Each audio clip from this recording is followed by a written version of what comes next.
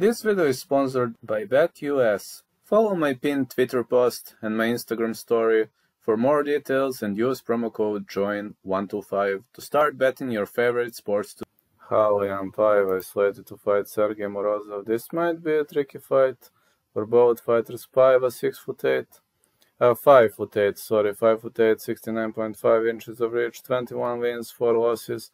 Paiva recently returned to bantamweight, where he destroyed Kyler Phillips and where he was TKO'd by Sean O'Malley, which was pretty much of a surprising win, according to my mind. But Sean O'Malley proved that he has value. Now Paiva is trying to get back into the winning column, gonna fight Sergey Morozov, 5'5", 67 inches of reach, Kazakhstani fighter, 17-5 is his record. Morozov is a different type of a fighter.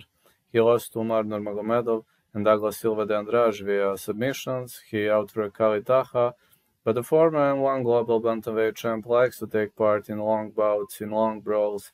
He is technically very, very mature fighter.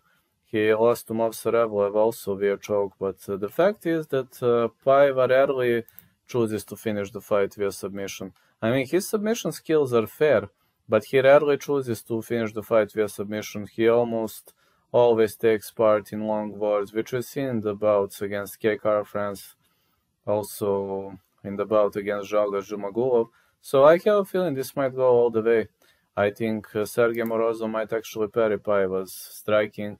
Morozov will probably try to keep the fight clinch and to drag the fight to the ground, as he'll be probably having the advantage on the ground. So I think fight starts round 3, or fight goes the distance, but I'll rather choose fight starts round 3.